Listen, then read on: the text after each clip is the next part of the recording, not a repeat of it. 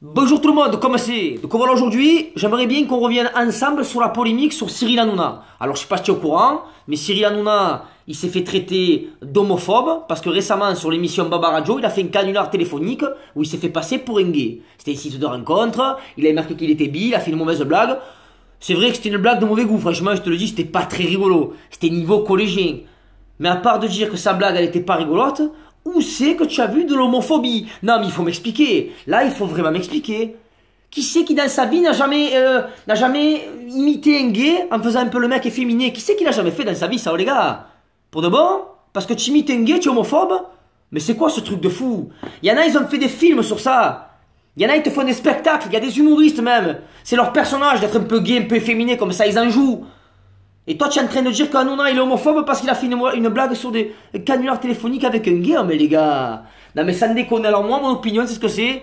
C'est que ça prend toute cette ampleur juste parce que c'est Cyril Hanouna. Et que Cyril Hanouna, ça fait 7 ans qu'il est là, qu'on le veuille ou non, 7 ans qu'il est là avec tes PMP, et qui parle, qui dit un peu ce qu'il veut sur tout le monde, qui critique à droite, à gauche, il n'a pas de filtre, il dit ce qu'il pense. Et les gens, ça leur plaît pas. Ça leur plaît pas parce que ça fait 7 ans que le mec il marche. Et il marche de mieux en mieux. Non mais voilà, il a une ascension qui est comme ça depuis 7 ans. Et alors qu'est-ce qu'ils ont les gens? Ils sont jaloux. Et comme ils sont jaloux, ils essaient, ils, essayent de trouver la moindre petite bête pour essayer de le descendre. Mais là j'ai l'impression que le pire, c'est que ça est en train de marcher. Le CSA, euh, la ministre de la Culture. L'autre, elle vient d'arriver au pouvoir, ministre de la Culture, tu n'as rien d'autre à faire de mieux, tu n'as pas d'autre priorité que de convoquer Cyril Hanouna parce qu'il a fait un canular de mauvais goût non mais vous êtes des fous quoi, ça ne déconne. Ah c'est des fous les gens. Et le pire c'est qu'il y a du monde, il y a des associations de gays qui se mettent contre lui. Eh, va te promener, hein. non mais ça ne déconne. Alors sinon, à partir du moment où ça n'en a, quoi qu'il aurait fait, ça aurait été pareil. Ça veut dire que si Jean-Michel Maire aurait appelé une femme, ça aurait été miso. Si Nora aurait appelé un homme, ça aurait été féministe. Quoi qu'il fasse, de toute façon, c'est comme ça. Le problème, c'est ce pays. C'est un pays de jaloux. Où dès qu'il y a quelqu'un qui marche bien, qui a du succès, ben les gens, ils sont pas contents. Ils marronnent. Ils sont là. Mais t'as vu, il a fait ci. Eh, t'as vu, il a fait ça. Ouais, non, il a raison, c'est homophobe. C'est homophobe.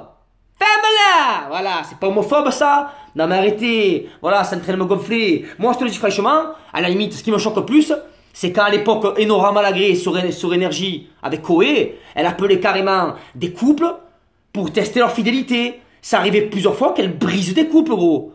Elle brise des mariages. Une fois, elle appelait un mec un mois avant le mariage. La fille, elle était en pleurs. Ah, ça fait 5 ans qu'ils étaient ensemble, ils allaient se marier. Elle t'a brisé le couple sans pression. Et après, elle disait, ah, j'assume pas. J'assume pas, tu assumes pas quoi? Tu sais que ça va faire de l'audience, te cache pas j'assume pas au moins. Genre, je lui ai rendu service. Ça, c'était choquant, parce que là, tu ruines des vies. Tu peux même pousser les femmes jusqu'au suicide. Là, là, qu'est-ce qu'il a fait de mal? Sa blague, elle était freinée, soit. C'était pas rigolo. Et alors? Ça fait 7 ans qu'il est là, 5 fois par semaine. 2-3 heures par soir. Il peut pas être rigolo tout le temps, le mec. Non, mais voilà. Oh, parce qu'en 7 ans, il a fait une blague de mauvais goût. Le, mauvais goût, le mec, c'est un homophobe. Franchement, les gars, vous êtes des fous. Moi, ça me choque plus encore. Même Stéphane Guillon, il y a pas longtemps, qu'en parlant de la mort de la mère de Dupont-Aignan, qui dit, ouais, moi, j'aurais été sa mère. Je comprends qu'elle se laisse mourir. Euh, moi, ma mère, elle aurait fait pareil si je serais avec le Front National. Et ça, c'est pas choquant, ça. Ça, ça choque personne, on n'en parle pas. Eh ouais, mais c'est pas non, c'est Stéphane Guillon. Stéphane Guillon, il est fini. Il est dans les cordes. Il est prêt à faire n'importe quoi pour faire un peu d'audience, tellement qu'il est pourri. Il était rigolo un petit peu avant, Stéphane Guillon, mais c'est bon. Il est plus rigolo maintenant. Il n'a même pas de limite, ce garçon. Donc voilà, je te le dis franchement. Moi, en tout cas, ça m'a pas choqué. Alors peut-être que je suis. Ah, peut-être, je le sais pas, je. Hein. Ça, ça se trouve, je, je suis pas au courant. Mais je vois pas ce qu'il y avait de choquant. Nul, oui. Choquant, non. Voilà, arrêtez de vous inventer des vies. Hein? Et rigoler un peu. Voilà, si t'as pas fait rire, tu zappes. Mais pas besoin de crier homophobie. Quoi que tu dises, maintenant tu es homophobe, de toute façon. Eh ouais, tu es, écoute, tu es homophobe, écoute, tu es raciste, écoute, tu es antisémiste. Oh, pèse un peu le poids des mots, s'il te plaît. Eh, à un moment donné, deux poids de mesure. Je te remercie, mon ami. Allez, passe une bonne journée, la bise. Et mange un cul les homophobes, hein. Allez, bise, ciao, ciao.